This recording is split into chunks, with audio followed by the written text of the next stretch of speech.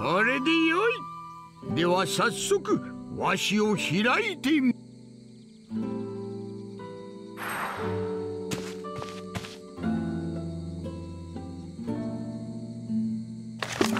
さあより霊脈に接続するのじゃ。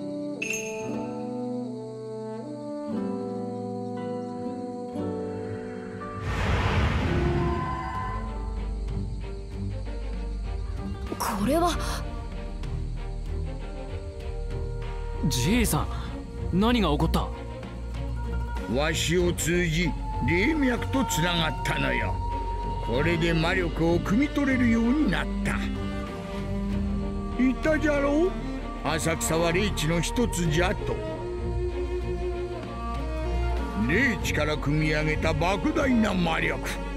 仮に霊地力とでも呼ぶことにしようかの？